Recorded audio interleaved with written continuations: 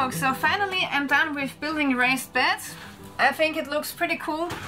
And yeah, they're not perfect, so I have a couple of gaps here and there, but I think for my needs it's perfectly fine. And yeah, the next step will be that I have to bring in some soil and fill up the raised beds. But right now it's winter time and actually outside the soil is quite frozen. So I really have to wait for at least one month until I can get some soil. And yeah, then I can finally start gardening in here and I'm really looking forward for that. So if you're interested in seeing some gardening videos inside of my greenhouse, make sure that you hit the subscribe button and maybe leave me a like and a comment. Stay tuned till next time.